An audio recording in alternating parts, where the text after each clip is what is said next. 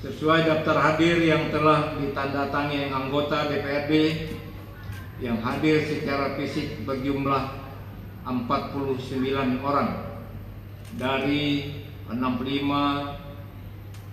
orang jumlah anggota DPRD. Hal ini berarti telah menu- memenuhi lebih dari setengah atau satu per dua jumlah anggota DPRD.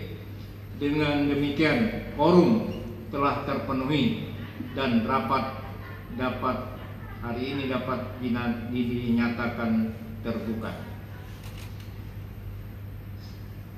Sebelum rapat paripurna ini, saya buka